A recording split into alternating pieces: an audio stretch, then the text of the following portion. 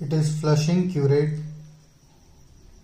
which is used to curate the surface tissue surface and can be used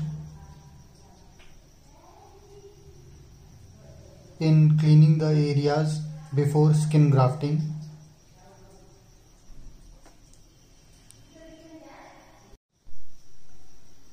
This is Vulsellum forceps V U L S E double L U M Vulsellum forceps.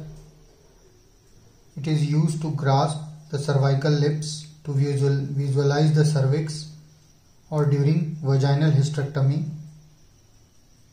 They can also be used to grasp a fibroid polyp. They have a pelvic curve. They can be single toothed, double toothed or multiple tooth.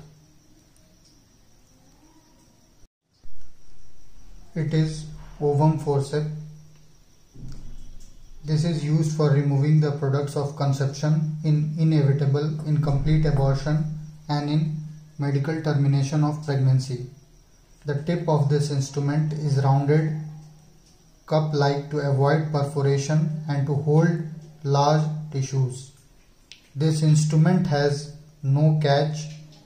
This is to avoid mainly the perforation of wall.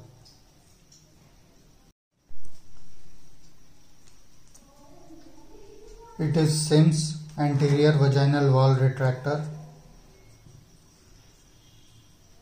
It is mainly used with Sims speculum. It's a long instrument with blunt loops at both ends making an angle for easy visualization of cervix and vagina. Specially useful in cases of cystocele. It is a curette which is a surgical instrument designed for scraping and debriding tissue or debris in a biopsy, excision or clinical sorry cleaning procedures like before skin grafting.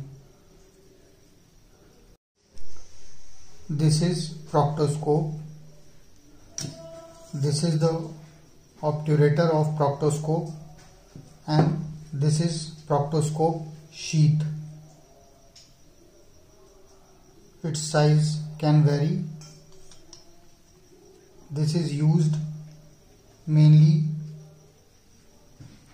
to examine inside the rectum and the anus usually done to look for tumors polyps inflammation bleeding or hemorrhoids.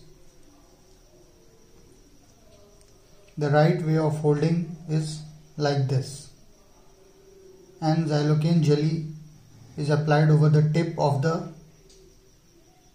this proctoscope before inserting inside the anus.